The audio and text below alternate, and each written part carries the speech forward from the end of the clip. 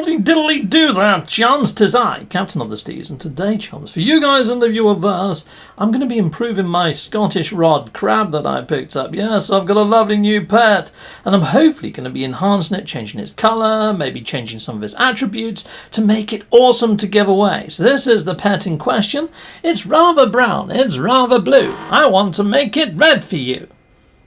So yes, my colour scheme is red, white and black. And you can see here, this butter lila is blue and yellow. So yeah, I want to be monkeying about with their DNA and changing them up somewhat. It's like this chap, Grass Licker. His name is Grass Licker because he doesn't fly. I want to make him slightly larger, maybe make him more airborne, and we might be able to call him Air Biscuit. This little chap, I want to make him a bright red rather than this horrible brown. So you know what, I need to go get some dirt, people. Yeah, so if you go to a mining area of space, you can pick up dirt inside of the space station. Dirt seems to have red, white, and black as the coloration scheme once you mix it into your creature's DNA under the dye area. But I'll show you that in a moment. For now, I'll show you how to find a mining area space. You're going to need the economy scanner installed in your starship. Select it on the filter, using your D-pad, and it's the sort of orangey browny star. That one there. You can see it's got the mining icon. And away we go. So once inside of the Space Station, head on over to the Galactic Trade Terminal on the wall here, and you will find dirt. You can buy all of said dirt. Thank you very much for all that lovely dirt. I also tend to buy all the sodium, oxygen, and cobalt because you can use these to boost your creature stats, and it's usually helpfulness and devotion that they tend to boost, which are the things that you really want if you want your creature to be slightly more automated and to be a little bit more helpful when gathering resources. Doesn't really work on the flying creatures. They don't really do nothing apart from land giant turds at your feet. Anyhow, so here we go. We're back down on the planet. Now let's have a quick look at our actual pet. Is it ready to lay an egg? Come on, little creature. Yeah, 24 hours have passed, people. Power of editing and that. Yes, we can now induce an egg. Brilliant. I had to take him back to his natural habitat. This creature's natural habitat is a swamp planet, people. So if you do want this crab, and you do want it to lay eggs, it's handy if you've got yourself a swamp planet in your repertoire of teleporting areas to go to. Maybe put a base down on a swamp planet prior to getting your crab creature. Righto. Eh? So yes, if you're watching this now and you're hopefully thinking I might give this away in one of the pet giveaways, which I will be, I will be fairly soon. But yeah, I've got to wait till it gets to adulthood and it needs to be able to lay eggs of its own first. So it's not going to be this Monday coming, but probably the Monday after. So there we go. Let's head on into the Space Anomaly, and we're going to head on over to the egg machine, which is up the back here, over by Cronus, the guy that you turn into food stuff. Here we go. Egg sequencer. Brilliant. Hello there, egg sequencer. Right, now I've got to find the freaking egg that's put in here. Okay, where are you, egg? Right. Not seeing the egg anywhere for the Scottish Rod. I bet it's inside my ship freaking cargo. And it doesn't pick up ship cargo. It also doesn't pick up your freighter people. So yeah, it's a bit finicky. Right, I might have to move a few things around. You know what? I can speed up that footage. There it is in my cargo. Right, I need to move stuff around. Lovely job. There we go. A little bit of jiggery pokery and uh, yeah, and tomfoolery. We're done. We've now got the egg in. We put the dirt in. You can see the 100% dose. Coloration is unstable. Right, well now let's stick in the oxygen. Look at that. Helpfulness is increasing, like I mentioned earlier.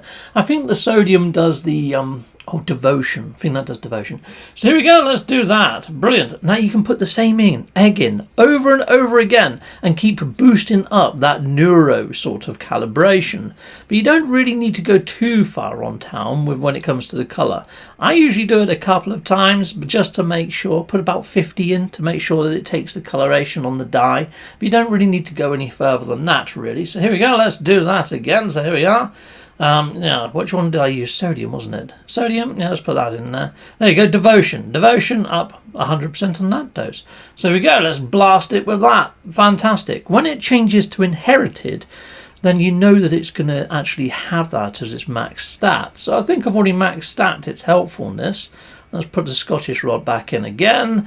Shall I do a little bit more dye? Mm, I don't know whether I need to. Let's just go to neural calibration then. And let's uh, do that again for devotion. You can see that still says increasing at the bottom. It hasn't gone to inherited. So I'm just going to do this. I'm going to do this with all of the eggs that I have upon my person. And hopefully when we reconvene we'll start hatching these things out, people. Well, how do that jump? So I'm back down on good old Planet Blighty. Let's uh, put down my creature. It's actually called Planet Kina, but yeah, let's just ignore that.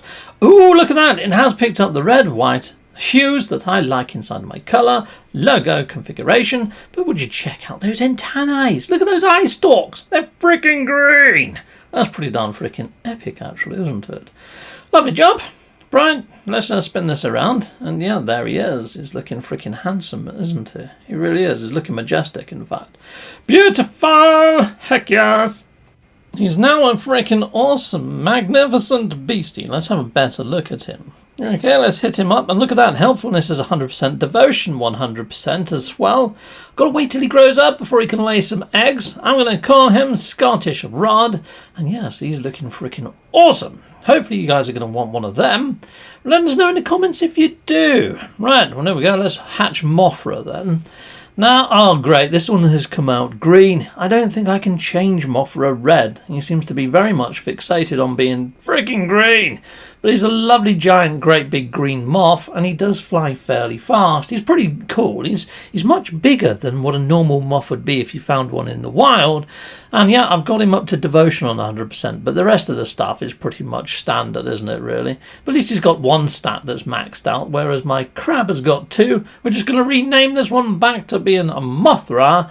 But yeah, I don't know whether I'm going to be giving these out inside of the egg giveaway. Let me know if you want one. I don't know whether it's going to be popular or not. So if you do want one, sound off in the comments what pets you want to see the most out of all these ones that I'm hatching today. So this one I'm going to be calling Mr. Miyogi. Know, look, it's been given the default name of Rookie. That's pretty cool anyway, isn't it? Anyway, let's make sure he's nice and happy. But yes, he's come out lovely and red. Freaking awesome. Let's check out his stats. So here we go. Let's hit him up. Boom. Right, yeah, two at 100% then. Yeah, dutiful helpfulness and devotion. Lovely jubbly. Right, okay, well, I'm going to call him Mr. Miyogi. So let's just get that keyed in. Lovely job, and give that a save. Mr. Miyogi, there we go. Dundily and done. Excellent. Right, so next up, Grass Licker. Right, now I called this one Grass Licker because when you rode him before, he would just stay in the air for about, I don't know, 15 seconds, and then he would graze across the floor like he's doing there. You see what he's doing there? Didn't really go airborne. So um, let's give him a treat. Let's make sure he's happy, and we're going to ride him, and we're going to see if he's going to be called Grass Licker, or whether he'll gain the name of Air Biscuit. And I just made him a little bit bigger. And it seems to have done the trick. He seems to be staying in the air. Oh, actually, no, look, he's on a decline. He looks like he might be making a beeline for the grass. Or is he doing that because we're going down into some sort of like little concave area? Maybe he keeps a, a set distance from the ground. Yes, look, he's rising. He's rising as the terrain rises now, people. It looks like he may be fixed. Yes, we might be able to get away with calling this little chappie Air Biscuit. Brilliant. Lovely. And that's probably going to be his new name. Let's head on uphill. Let's see if I'm right. Let's see if it goes on an incline. Oh, flying over the base might not be the best of test. But here we go. We'll fly past my ship. And we'll see if it starts going up with the hill. If it does start going up with the hill, I think it's safe to say we can call him Air Biscuit. Upgrade him from Grass Licker. So here we go. And yes, he's rising. He's rising it works, people. This ah, freaking awesome. Brilliant. So now we have this creature that I could also give away. Again, if you want one of these, just call it the farting fish, or you can call it air biscuit, whatever. But yeah, I will be hopefully giving him away if you want one of those. Pretty darn freaking sweet, huh? Right, well, let's go and name him then. Let's check out his stats. Let's hit him up. Boom! Okay, none of his stats are 100%. No, I just worried about his size. I wanted to make sure I could make him fly before I invested too much. But you know what? We can call him Air Biscuits.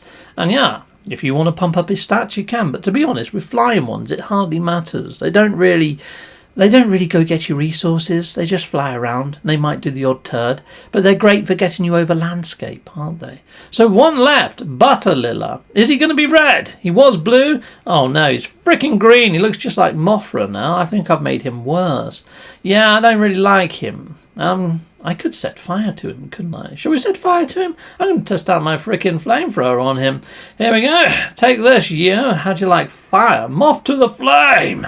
Yeah, I didn't like that too much, did he? But no, they've actually managed to fix it now, people. You can't kill your own pets, which is a bit of a shame, because that one, I think, deserves a bit of murdercation. But yeah, look at that. It's got two stats that are at 100%.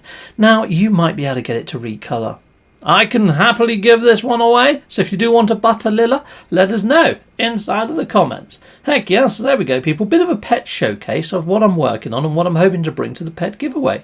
Hope you enjoyed the video, people out there in the viewerverse. Until next time, take it easy. Cheery bye. Goodbye, goodbye, and goodbye again. Well, thank you very much for watching. If you like what you see, please hit a like and a subscribe. And I'd like to say a massive, great big thank you to all of my backers over on Patreon and over on YouTube membership. Thanking you, backers. And if you want to support this channel, just don't skip the adverts. That throws revenue down my avenue. Or yeah, just stay with Captain Steve that little bit longer and hit something on this screen. There's merch here now too.